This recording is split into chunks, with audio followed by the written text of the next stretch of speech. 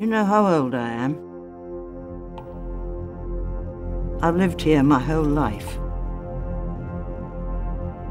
Right here, that house, this place.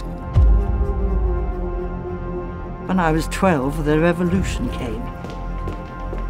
They told us to leave. Then Stalin and his famine. Then the Great War. More soldiers, more famine, more bodies. But I'm still here. So after all that I have seen, I should leave now because of something I cannot see at all.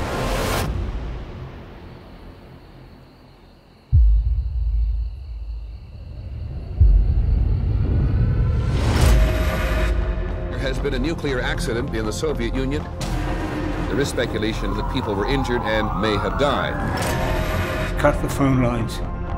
Contain the spread of misinformation. What have they done? Do you have any idea what you're dealing with? This has never occurred on this planet before. The release of radiation will be severe. The entire continent completely uninhabitable. What's happening here? If you don't evacuate, hundreds of thousands of people will die. And how long before this happens? Approximately 48 to 72 hours.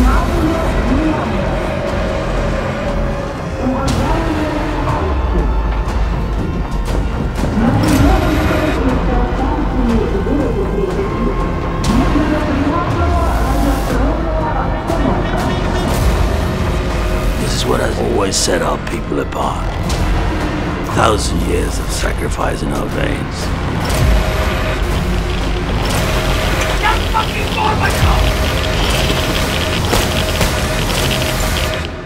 It would be fair to say that this is the most dangerous place on Earth.